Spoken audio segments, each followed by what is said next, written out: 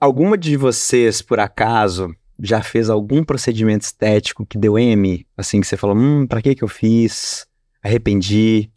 E se, se aconteceu, assim, isso foi reversível ou não? Você se lembra de alguma coisa que deu um trauminha?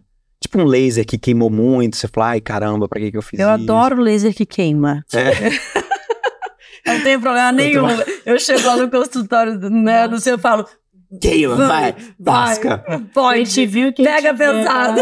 sentiu a dor. É, mas odeia dor, né? Já Assim, adoro, agora É, gente, você ficar mais velha é isso, né? Vai Você tolerando. dor, ficar No tolerante pain, à dor. Depois do parto, É. então, nenhuma dor é dor.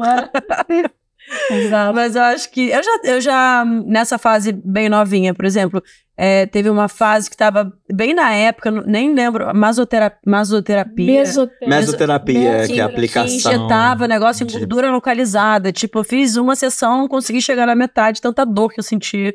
E realmente abortei a, a história por ali. Então, acho que é uma coisa que eu me arrependo. Mas também é Uhum. engraçado, né? Porque isso eu tô falando de quase 20 anos atrás, né? E como a medicina e como a estética melhorou, né? E hoje em dia tá muito mais a nosso favor. É, e ajudando a gente a fazer os procedimentos, né? Eu acho que esse foi um que eu me arrependi. Teve uma época com uns 20 anos que eu encanei com as minhas pintinhas no, no braço, bem louca. Sabe Tem essas nem pintinhas pintinha, de se sol? focar aqui no Sardinha. sol. Sardinha é. de sol, essas. Encanei com elas e aí resolvi fazer um laser pra tentar diminuir. Imagina, fiquei com várias marcas assim da, da, da ponteira do laser. Sim. Tinha que ficar usando manga comprida e não adiantou de nada. Então, outra coisa que eu me arrependo. E que, ah, acho que depois disso eu, eu entendi que, sei lá, as coisas são, são mais devagares, assim. É, e eu acho que tem que ter uma conversa bem legal, assim, com o não. médico, pra aliar a expectativa, né? Saber o que, que você espera daquele procedimento e de que forma você vai alcançar isso. Por exemplo, Sim. esse laser para as pintinhas, às vezes precisaria de mais de uma sessão. Eu fiz várias explicar. sessões.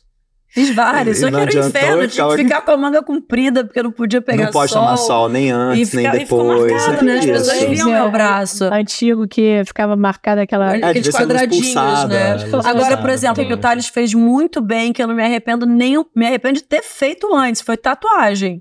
Ah, o laser para remover Né? Tatuagem. O laser pra remover a tatuagem. A gente foi lá, inclusive eu nem terminei de fazer todos, mas o efeito já foi maravilhoso, porque começou a pandemia, Sim, e aí, enfim, verdade, a gente também passou, depois mas dei- também já tava apagadinha. aí você- desencanada. Eu tirei largou. uma aqui, eu tirei uma aqui na lateral, uma do pé, que praticamente não tem nada, e que funcionou assim muito, muito bem.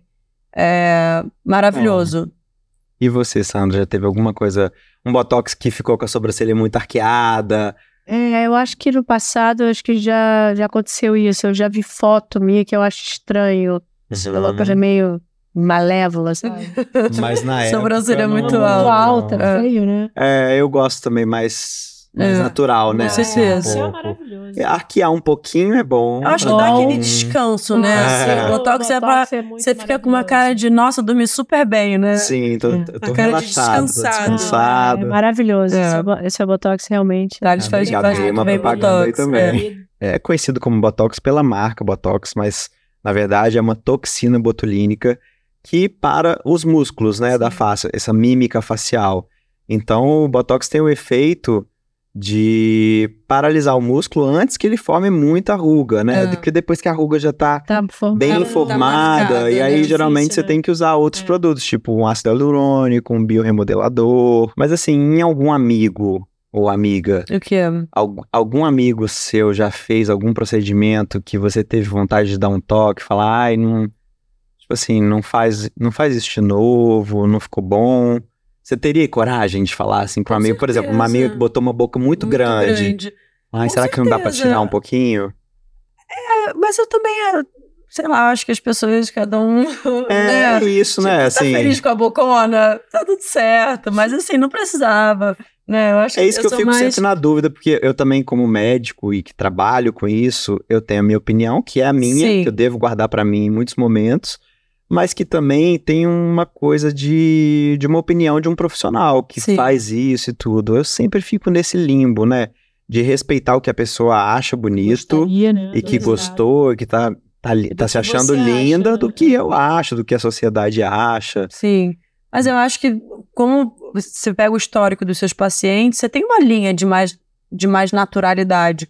Acho que dificilmente vai chegar um paciente para você pedindo para você né, faça uma grande harmonização facial, como a gente vê na internet. Sim. Não é a sua linha. Sim. E as pessoas já sabem disso. Então as pessoas eu acho que te procuram já sabendo do que se espera Sim. e qual tipo de tratamento vai ter. O máximo que a gente pode falar é, eu avisei. É, ou então assim, olha, procura um outro profissional para é. de repente ver se dá uma melhoradinha de leve e tal. É difícil, é sempre uma saia justa, né?